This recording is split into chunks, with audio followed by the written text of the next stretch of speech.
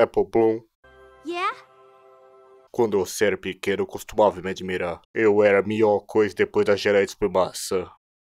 As coisas estão diferentes agora. Applejack é a heroína da família Apple. Sempre correndo para salvar a Equestria. E eu só fico na fazenda. Fazendo as tarefas, ajudando como posso, nada de especial, herói de ninguém. Eu só pensei que. Ah, deixa pra lá.